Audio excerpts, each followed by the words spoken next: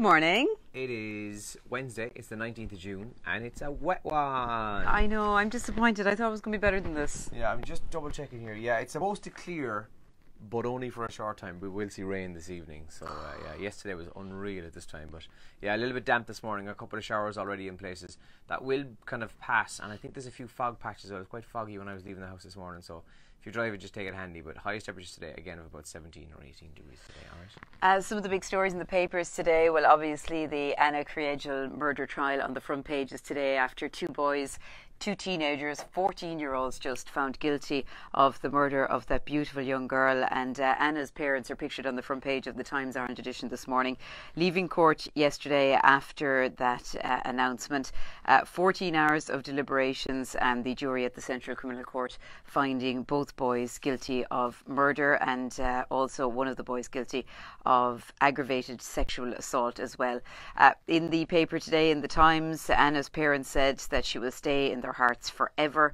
And uh, the mum, I heard the mum speaking after um, the verdict yesterday. Obviously, very, very emotional scenes in the court. It's an awful story in the front page of the Times. Also, in the paper today, uh, Paschal Donohoe says that he expects a strike by 10,000 hospital support staff to go ahead tomorrow. And obviously, that will discommode a number of people. HSE braces for strike by 10,000 support staff is the headline in the Times Ireland edition this morning. Uh, more on Anna Kriegel on the front page there. Son, we love you, Anna sick porn on two phones in boy A's room, and boy B's dad says you've jailed an innocent kid.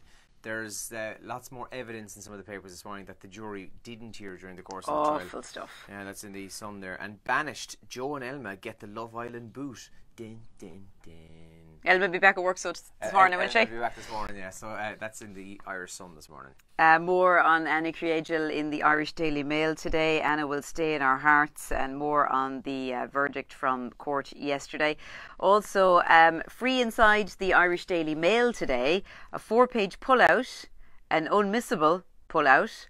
Uh, Dr. Mosley's Fast 800 Summer Family Recipes. So, this is the guy who created the 5 to 2 diet which I can't remember what that is. I think it's you re- eat really, really healthy and really lean for five days, and then you have a few treats two days. I think maybe I could be totally wrong on that though. Don't try that without checking that out first on Google.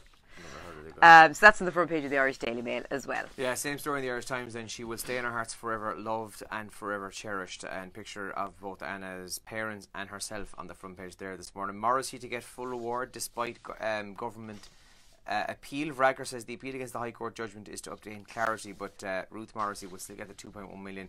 And charging ahead, so all this talk about climate action, the climate plan, and so on the last number of days.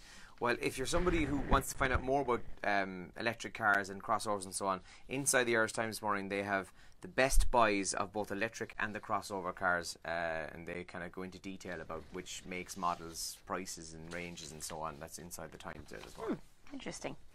Um, speaking of cars, interesting chat on Kerry today yesterday about electric cars. Yeah, it's good actually. In fairness, very very good. Yeah, yeah. they're too expensive. They're way too expensive. That's yeah. it. I mean, obviously, like everyone's giving out about how there's not enough charge points. There's probably enough charge points for the number of cars there are in the roads. there's so few right of them. Now, yeah. Um, and I I think that that would be that would be an issue that would be rectified if people started to buy electric cars, but there aren't enough electric cars and they're too expensive. I know a friend of mine was looking at a particular model of car and they really wanted to get the electric or maybe it was a hybrid version anyway, whatever, but it was 10 grand more.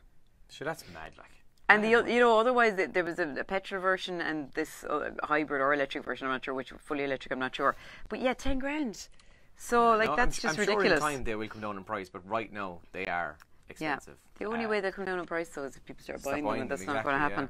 Yeah. Um, so yeah, so a lot of talk about that, and uh, that was on Kerry Today yesterday. You can probably listen to the podcast. They were in general talking about uh, the government's uh, climate action plan, and following on from that, then they spoke to a farming representative and. Um, auto industry as well.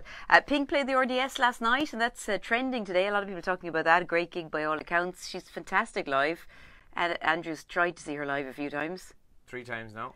And I saw her live once. It's a long time ago though, but she was excellent. There was a lot of girls throwing knickers at her. Nice. Yeah, she was kind of at one stage. She just had lots of knickers draped over her. Um, she's very, very good. I'd say she's one of those. That, she's still great, even though like that's 14 years ago I saw her live yeah. probably. But I'd say she gives it her all. that new album is excellent, so that's what she's touring. So I'd Yeah. say, I'd say, I'd, look, I'm just assuming that she's still great. Yeah. Um, uh, Anna Kriegel is obviously trending as well, and a lot of people are paying tribute to the beautiful young girl who died so tragically and so violently last year. A lot of reaction to the verdict on Twitter, and some of that. When when people start reacting like that, some of it gets kind of dodgy. Yeah. In terms of obviously those boys can't be named, but uh, a lot of talk about that on Twitter as well this morning. Yeah, BBC Our Next PM is also trending. So the latest TV debate from the UK for the next Tory leader was last night, and uh, Patrick Kielty, the Irish comedian, summed it up in this tweet. He said, "So one candidate who understands the Irish border, one who doesn't, one who thinks they can buy it, and one who can name places close to it." Great. Uh, that went into further detail as well, including a lot of swear words, but I think that sums up the, the debate there last night.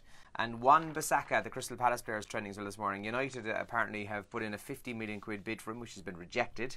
He scored an OG last night for England, so good start. Did they lose? uh, actually, oh, they did. They lost to France. Yeah, Yeah? Oh, I think. I think France scored two late goals, but uh, that We're was just- um, last night. Yeah. We're just two days out from the longest day of the year, the equinox, just two days away. Um, and I don't know if you noticed, was it last night, night before? It was still kind of bright at 11 o'clock. I'll, yeah, I was just going to say, mental, last yeah. night I went to bed at about 20 past 10, and I was still watching Netflix, and I kind of, around quarter past 11, I was like, geez, I really should go to sleep. yeah, yeah. So I turned it off, and as I as I turned it off and the room went black, you could still see the light coming through the window. There's about Cool. quarter past eleven last night. Um, Mad lads. what's the plan for today? Do you have anything exciting going on um, today? Uh, we have a football blitz later, actually. Uh, you do, I don't. Well, I do. We we do. You have to come now to that as well as Oh, those okay, things. right, I have to Um, so yeah, that's what's going on in my life today. But let us know what, what's happening with you. How about you? Are you busy today? Yeah, just the usual crack. Wednesday and all that kind of midweek kind of. Well, uh, we have a busy show though because we've got another chance to win a 1,000 euro bedroom makeover. We have a mini summer breakaway in the Clayton Hotel in Cork City Centre, and we're on 100 euro in cash for our brand new Who's for Breakfast with thanks to Moriarty's Central Car Sales and Centra and Farron 4. So loads to do. We're on air in about a minute's time. So join us on Radio Kerry and have a brilliant Wednesday. We'll talk to you soon. Good luck. Bye-bye. Enjoy now. Enjoy the blitz.